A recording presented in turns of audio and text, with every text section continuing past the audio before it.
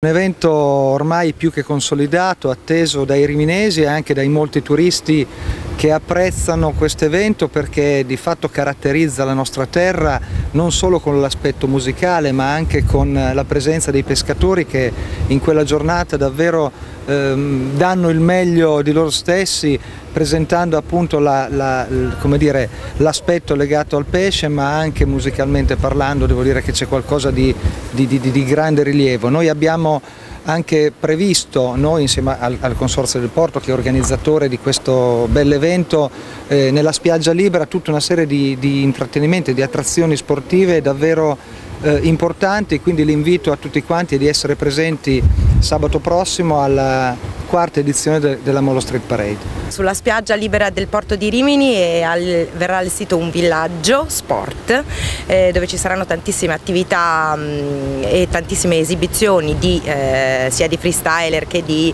eh, ragazzi che fanno pattini in linea, ci sarà una big air, cioè una rampa di 12 metri sul mare eh, dalla quale ci saranno delle esibizioni, ci sarà un'area fitness e ci saranno anche delle attività che il pubblico potrà fare, cioè si potranno doneggiare le fat bike, fare anche una gara con i campioni, eh, l'area fitness a disposizione, insomma tantissime attività da venerdì a domenica. Mm, così in abbinamento poi naturalmente con la serata fino a notte fonda con la Molo Street Parade e tantissime